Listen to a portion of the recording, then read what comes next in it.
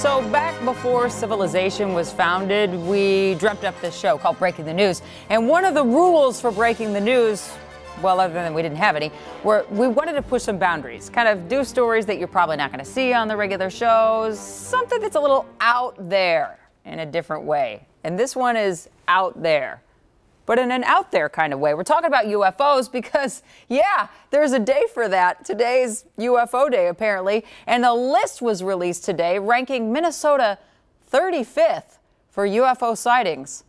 Good on you. That might be the most Minnesota thing I've heard today before we even get to that segment. But moving on, any whoosies. We'd like to know if you've ever seen an unidentified flying object by voting in our poll. That's right. I'd also like you to explain it to me on Twitter because I really want to know what you saw.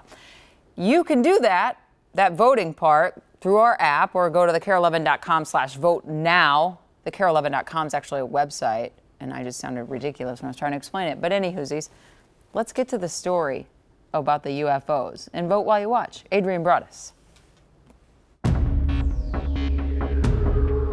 It's July 2nd, a day dedicated to the existence of unidentified flying objects summed up with three words. World UFO Day? Is that. Are we supposed to see something? I don't know. Have you seen anything? There was something up there, right above that building, I think. When? Just a minute ago. Didn't you see it? Well, we only came outside because it was a beautiful day, not because we were looking for any UFOs. But if y'all find some, let me know. Unidentified flying objects, so basically anything that science can't explain. But this scientist, Mae Jemison, fills in the blanks. That I always wanted to be a scientist. Now, kids always want to be. They love science because we come out of the chute excited about the world around us, right? She was the first African American woman in space aboard the Space Shuttle Endeavour. We asked the retired astronaut the tough question that goes hand in hand with UFOs. Do you believe in aliens?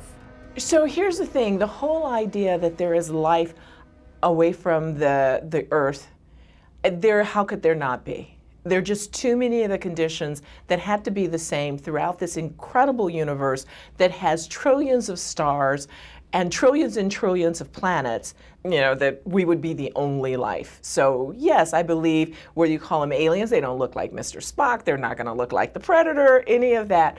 But certainly there is life outside of this planet. Who better to qualify the claims than a retired astronaut? And how's this for timing? A new list is out ranking states with the most unidentified flying object sightings per capita.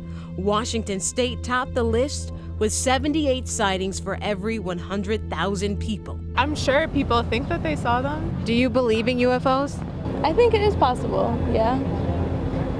The universe is so big. No. nope. And in case you're wondering, Minnesota is ranked 35th with about 30 UFO sightings for every 100,000 people. If the states that have the highest sightings are in like northern states, maybe there's something to do with like the visibility in the sky. That makes sense. Wow. It Must be the North Star up here. Texas came in last. Too hot down there, the UFO doesn't want to be flying down south. I hope to see one soon. How close is a close encounter? No one really knows.